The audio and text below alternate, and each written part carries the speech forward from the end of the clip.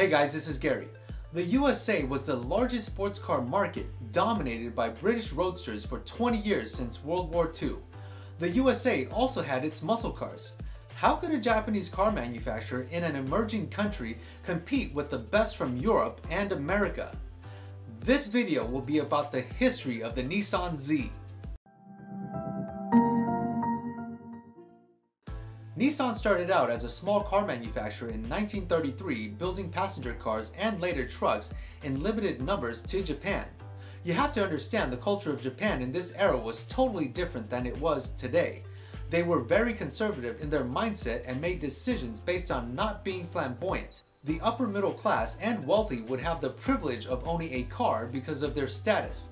Lower classes would be questioned and disdained most of the population still used public transportation since it was expensive to own an automobile. Moving up in social class would involve networking rather than being educated or having ambition. In short, you had to know people in high places to get to where you wanted to be. The end of World War II would find the Japanese business structure change as US allies went in and restructured the country, removing high status leaders with their cultural ideologies and starting the westernization of Japan. Nissan made several attempts to create a successful open-top sports car to get into the US market. It wasn't until the 1965 Fair Lady, or Datsun 1600, that they became successful. They did not build sports cars for the home country of Japan as the country was deemed not ready since it was at the time still industrializing. 1965 would also find the US Senate discussing convertible safety regulations that made them more challenging to meet, especially the rollover test. This set the stage for the future US sports car market. Nissan had partnered with Yamaha during the 1960s on designing the next generation sports car. Former Nissan contracted designer Albrecht Goertz was part of the project and it culminated with the A550X. It eventually ended with Nissan scrapping the project in 1964 due to the 2-liter Yamaha engine not meeting Nissan's expectations and high costs associated. Around the same time, Goertz's contract also ended with Nissan. Yamaha used this project as a prime engineering example of their work and eventually went to Toyota, hence the Toyota 2000 GT resulted. Nissan was known to be conservative, but they did have a radical in their system wanting to create cars with excitement, and his name was Yutaka Katayama. He had spent a few months in the US Pacific Northwest working as a ship's clerk prior to attending Keio University in Tokyo. Katayama was a car enthusiast and founded the first sports car club in Japan after the war. While working at Nissan as advertising manager in 1958, he persuaded Nissan management to allow him to enter two factory teams in the Australian Mobilgas Trial Rally, in which there was a lot of opposition. One of the two cars did win their class, with the other placing fourth, providing some international publicity for Nissan. Katayama would return two years later to find his advertising manager position filled in. By now, he had created several enemies opposing the labor union and challenging Nissan management which caused him to be relocated to the US in 1960. It was more of a way to maybe fire him since it was a new market and they weren't as successful, but it actually caused him to learn and understand US car culture and implement it to Nissan's lineup. He would go on to build Nissan's Datsun dealer network in the US and later was promoted to be the first president of Nissan Motor Corporation USA by 1965. Katayama enjoyed the lifestyle in America, from barbecues to Mexican food. He had built great relationships in the US, but with his name being hard to pronounce, he was referred to as Mr. K. He promoted the Datsun cars with his minuscule advertising budget that was given by Nissan Japan through racing competitions and creativity. With impending convertible safety regulations of the mid to late 1960s, Mr. K made a trip to Nissan headquarters in Japan to discuss the 510 and also address his concerns of a new sports car to meet the upcoming US safety regulations. This wasn't going to be an easy task as he had butt heads earlier with Nissan Japan before causing himself to be, in a sense, exiled to the US in 1960. During his visit to Japan, he met with Nissan head of design and insisted that they develop a new affordable enclosed coupe sports car to meet the evolving US market. Mr. K was then directed to the Nissan office in Chate, whom were working on a side project which might be of interest. He met Nissan designer Yoshiko Matsuo, whose primary job was to work on the design of the next Roadster, but as a personal side project, he was working on a coupe prototype with proportions based on Japanese market car regulations. Nissan Japan wasn't particular to it, but allowed it to happen as a future option. Mr. K loved the design, but it would need some modifications to appease to US consumers. Now he just had to convince Nissan Japan executive management. During this time, Kechi Matsumura recently joined Nissan from Japan's Ministry of International Trade and Industry, where his past experience was automotive. After discussions, Matsumura would help Mr. K with the process to push for a new sports coupe, and in exchange, Mr. K accepted full responsibility for its success and also a commitment to sell 3,000 units a month, even though there was a lot of resistance from Nissan Japan. Project Z was then born. Nissan had also acquired the more upscale Prince Motor Company during this time, which they planned to implement Prince's engineering and racing experience into the new Z. During Mr. K's trip to Japan, he was also able to get the larger and more powerful 1600cc engine for the 1968 Datsun 510 approved for the USA. Things seemed to be going his way despite knowing that Nissan Japan was very upset, but he felt in himself that it was necessary in order to be successful in the USA. The arrival of the 510 with larger engine was not only a success, it also provided support for his dream sports car to become a reality. Datsun soon became the third largest importer in the USA by 1971. The European and American car manufacturers were now starting to take notice. The 240Z project went through several clay iterations and aerodynamic testing. The project was headed by 10 people at Nissan. Matsuo designed the Z from the start to be a race car, but it would also need to meet Mr. K's US requirements. They both, in a sense, had a similar philosophy with cars which made the relationship even better. The collaboration eventually created the first generation Nissan Fairlady Z in 1970, starting the legacy of the Nissan Z. The body proportions were larger compared to the prototype to accommodate the larger US consumer, which made it more expensive in Japan due to their size regulations. This was in effect unbothering to Mr. K since his concern was the US market. He was also able to convince Nissan to name the new sports car the Datsun 240Z for the USA. The 240 in the model name references to the 2.4 liters of displacement, while the Z references to the Nissan internal code name of Project Z. Let's talk about the name Fair Lady for a bit. The name Fair Lady was given to the new sports car line by Mr. Katsuji Kawamata president of Nissan Motors Japan after he had attended a Broadway musical called My Fair Lady, visiting the US in 1958. He felt that the name would invoke an image of beauty for the car because people would think of the beauty of the music and the leading lady.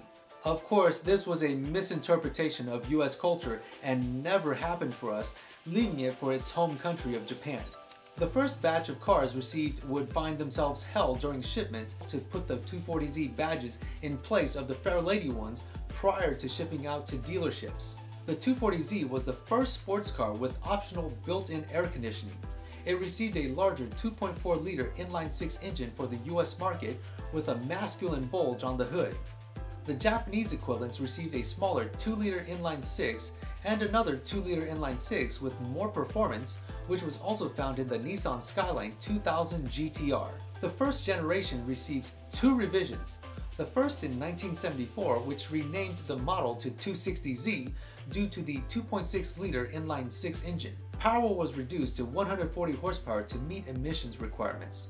It was only produced for one year in the US, with other countries receiving it until the generation ended. It was also offered as a 2 plus 2 body style, which made it longer. The final revision in 1975 also renamed the model to 280Z for its 2.8 liter engine displacement and received fuel injection increasing horsepower to 170 horsepower. It was only available for the USA while the rest of the world received the 260Z until the next generation. The first generation Z was a hit in the USA. It offered adequate power, sporty suspension, modern features, reliability, and affordability, making it the budget performance car of its time, beating out its European competition. The Mustang and Camaro were priced lower, but were more of muscle cars than sports cars, which didn't compete directly with the 240Z. The oil crisis of the 1970s only helped increase sales as less fuel-efficient cars became less desirable. Mr. K was promoted to chairman of Nissan Motor Corporation USA in 1975 and Hiroshi Majima took over as president. Mr. K's success wasn't really acknowledged by Nissan Japan due to his radicalism and this was likely a strategy by Nissan Japan to remove his day-to-day -day directing of Nissan Motor Corporation USA. Mr. K was eventually summoned back to Japan and forced to retire in 1977 right before the second generation 280ZX was released. Hiroshi Majima didn't speak much English and Japanese employees soon started arriving. The culture was changing at Nissan USA. Mr. K continued working for a Nissan subsidiary back in Japan. As far as racing goes, the first generation Zs were very successful in multiple types of racing, especially SCCA or IMSA, rally, and Baja races. The second generation Z was introduced in late 1978 as the 280ZX and was totally redesigned. Nissan had now included an X behind the Z, signifying that it had more luxurious options from the factory. It became larger and more of a grand tour offering T-tops, 2 plus 2, and comfort. Performance-minded enthusiasts were upset that it lost its performance edge. While the car did use the same 2.8 liter with 5-speed manual from the previous generation, the most notable change was the addition of the turbocharged motor in 1981 offering more power. Japanese versions would be offered with smaller displacement motors to make them more affordable. They never got the larger 2.8 turbo because Japan's Ministry of Transportation limited turbos to 2 liters or less. It was the most successful Z to date, selling over 86,000 units the first year and being recognized as Motor Trend's Import Car of the Year. The 280ZX Turbo was the fastest Japanese import car in the US. There was also a 10th anniversary made during this generation. The 280ZX was also successful in racing in the USA where it won championships in many categories. There were 1001 280ZX-R cars homologated by Datsun with a whale tail spoiler to create downforce which was used for IMSA and SCCA racing. The third generation Z was introduced in 1983 as the 300ZX. It was totally redesigned with a wedge shape with more luxury and comfort. The chassis code now is represented by a Z instead of an S like previous generations. Enthusiasts commented that it's become much more of a grand tourer than a sports car. This generation would also be the transition phase from the Datsun badge to the Nissan badge. 1984 models had Datsun and Nissan badges, while 1985 and later were solely badged Nissan onwards, even though dealerships were still under the Datsun brand momentarily. This might have been seen as more of a sucker punch to Mr. K after he had established Datsun in the USA. The car included a new powerful T3 turbo single overhead cam V6 engine for the US.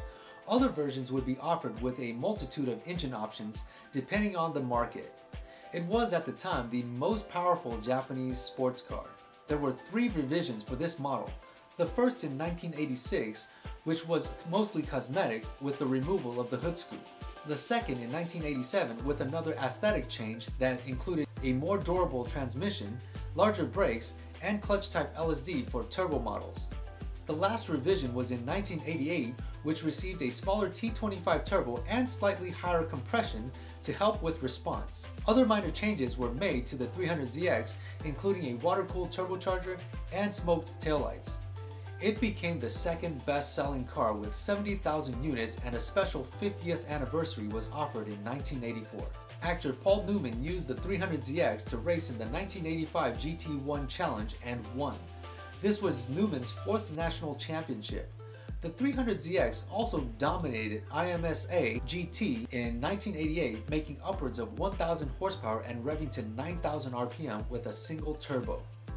The fourth generation Z was introduced in 1990 as the 300ZX. This would be the most advanced Z of its time.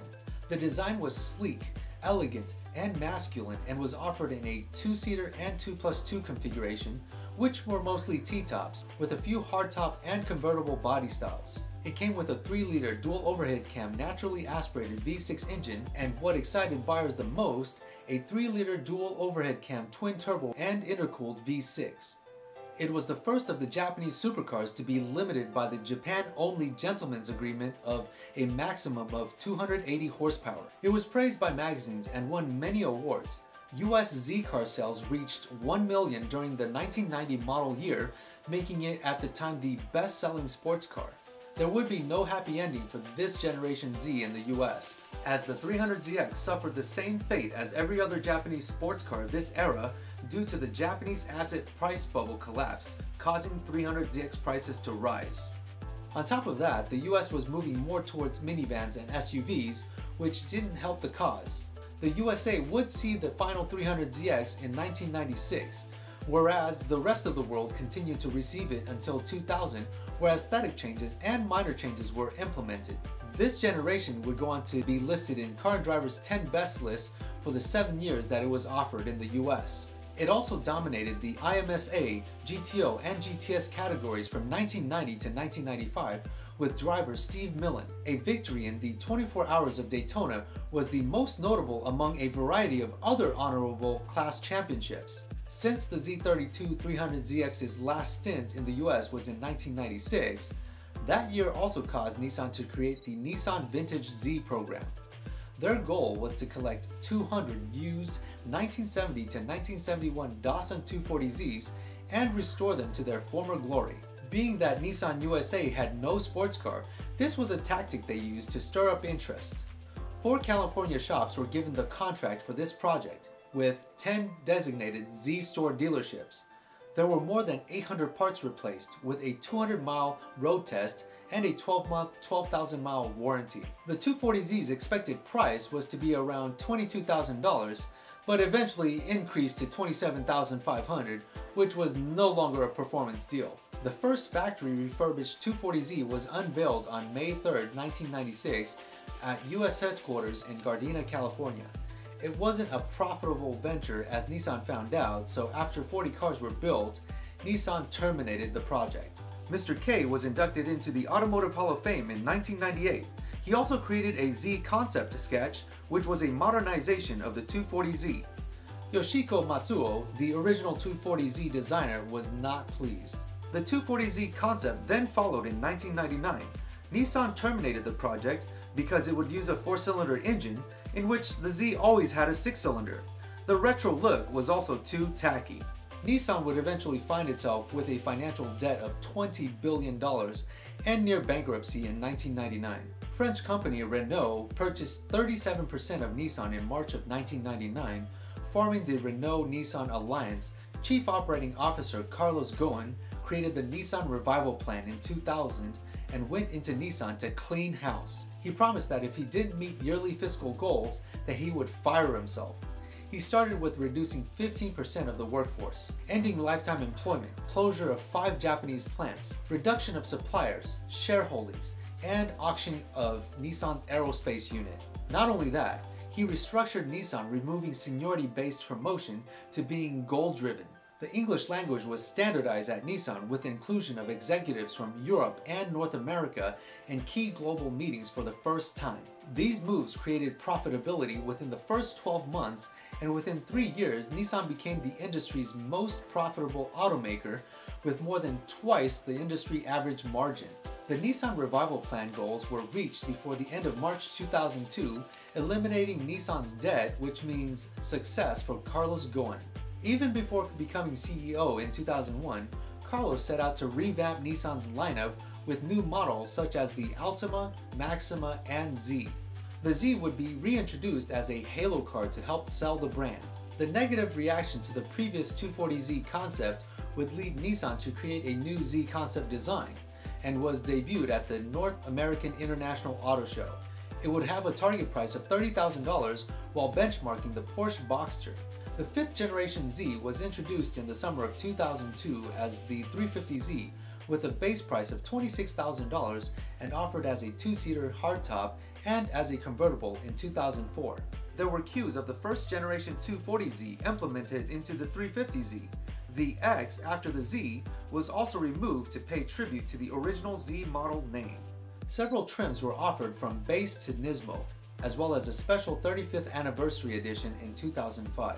It had a new 3.5 liter VQ35DE dual overhead cam V6 making 287 horsepower and received a power increase in 2005 to 300 horsepower from the VQ35DE Rev Up engine. And it also had the new 3.5 liter VQ35HR with dual intakes that produced more power at 306 horsepower.